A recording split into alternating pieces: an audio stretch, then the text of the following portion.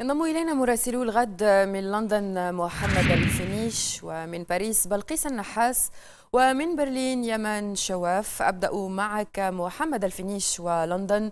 آه، يعني جونسون يعتذر ويحمل نفسه وحكومته المسؤولية عن سوء الوضع الوبائي بالبلاد. كيف هي أصداء هذا داخل بريطانيا؟ يعني من المعارضة إلى الشارع.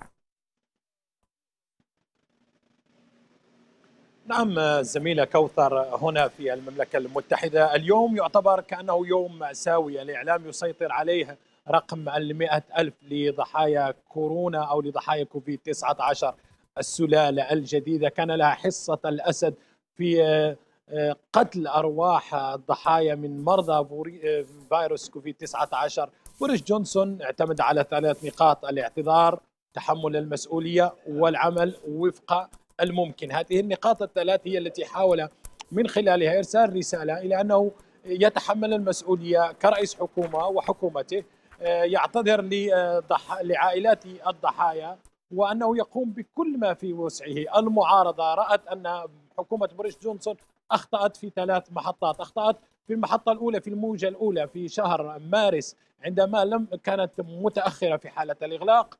أخطأت في المحطة الثانية في شهر سبتمبر عندما تأخرت في حالة الإغلاق وأخطأت في المحطة الثالثة وهي شهر ديسمبر الماضي عندما تأخرت كذلك في حالة الإغلاق واتخاذ الإجراءات اللازمة. الحكومة قالت أنها لا, لا يمكن التعامل مع كورونا على أنها دفتار أو كتاب مدرسي كما سمته وأنها تقوم بالإجراءات وفق مستشاريها العلميين الذين ينبهون للخطورة كلما آه، دعت الضرورة إلى ذلك. حاليا هناك تخوفات من السلالة الجديدة التي ظهرت بجنوب إفريقيا والتي أثبت آه، المتابعون هنا في الشأن الطبي ان أنه يوجد 77 حالة وأنهم تحت وأنها تحت السيطرة لكن هناك تخوفات من أن تخرج البلاد من السلالة البريطانية إلى سلالة جديدة وهي سلالة جنوب إفريقيا نعم. نحن نعلم أنه عدد الوفيات إلى حدود غاية يوم أمس خلال 24 ساعة الأخيرة سجل 1632 حالة وفاة. صحيح أنه انخفض عدد الإصابات إلى آه، أكثر من 20 ألف بعدما كانت البلاد تسجل قرابة 40 ألف لكن معدل الوفيات لا يزال مرتفع جدا. المستشفيات هنا في المملكة المتحدة تعيش على حالة من الاكتظاظ والبلاد لا زالت في حالة الإغلاق العام. نعم ابقى معي محمد وننتقل إلى بلقيس من باريس بلقيس إذا اجتماع لمجلس الدفاع الصحي اليوم لتحديد إجراءات جديدة هل نتوقع إغلاقا شاملا ثالثا في فرنسا؟ نعم سوسن صباح الخير.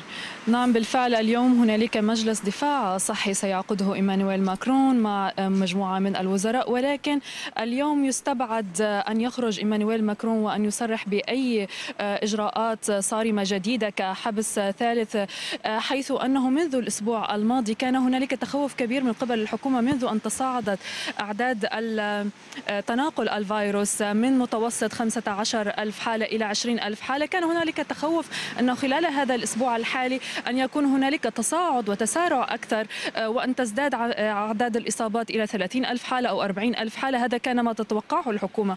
ولكن للآن سوسن ما زالت آه، المتوسط 20 يعني متوسط ثابت تقريبا اليوم 22 ألف حالة في, الأسب في الأيام الماضية أيضا خلال حول هذه الأرقام. إذا آه، ليس هنالك تسارع أو عدد طردي يرتفع من عدد المصابين. لذلك فإن الحكومة ترى أنه التريث الآن بينما تقرر آه، آه، تقرر هذه الإجراءات بعد أن يتم آه، بعد أن يتم فرز الإجراءات أو الأوراق والبيانات التي سيكون هنالك بعض البيانات المتعلقة بحظر التجول المبكر الذي فرض في الساعة السادسة مساء سوف يكون يوم السبت المقبل مساء سوف تجتمع الحكومة لترى هذه المؤشرات والبيانات وبالتالي سوف تكون هنالك من بعد يوم السبت إمكانية لأن تكون الحكومة قادرة على أن تقرر إن كان سيكون هنالك آه، آه، فرض حجر صحي مجددا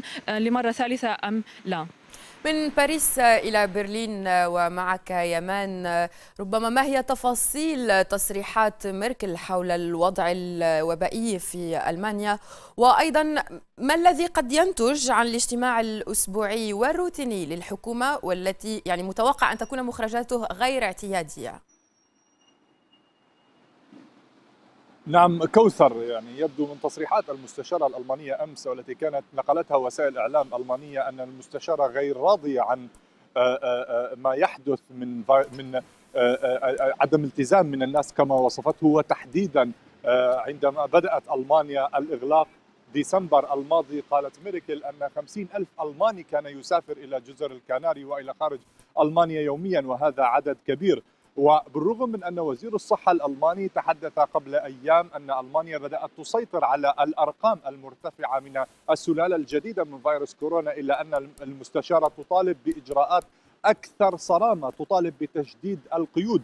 ميركل تحديدا وصفت الوضع الراهن في ألمانيا بالقول بأننا نجلس على برميل من البارود وهذا الأمر يمكن أن يختزل الوضع الذي القلق الذي يساور المستشارة الألمانية وكذلك الحكومة الألمانية من النسخ المتحورة من فيروس كورونا وسرعة انتشار هذه النسخ، لذلك هناك قلق كبير لدى الحكومة الألمانية، نحن نعلم أن الحكومة الألمانية مددت للمرة الثانية على التوالي آه، آه، الاغلاق العام حتى الرابع عشر من الشهر المقبل. ولكن كل المؤشرات وما تتحدث عنه وسائل الإعلام يبدو أن هذا الإغلاق قد يمدد فيما لم تسيطر بشكل كامل الحكومة على هذه الأرقام بمعنى أن تعود هذه الأرقام إلى الانخفاض بشكل كبير. اجتماع الحكومة اليوم ربما سيناقش العديد من القضايا هذا ما ننتظره بعد الاجتماع آه، آه، هناك الكثير من المتغيرات منها اتصال آه، ميركل قبل أيام قليلة مع بايدن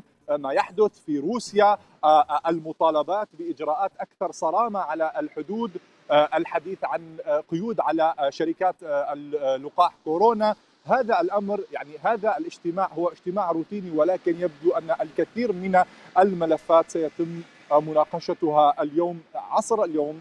بعد انتهاء هذا الاجتماع سيكون لدينا مزيد من التفاصيل معلومات أكثر عن طبيعة ما سيخرج من هذا الاجتماع. يمن شواف من برلين وبلقيس النحاس من باريس ومحمد الفينيش من لندن. شكرا جزيلا شبكة مراسلنا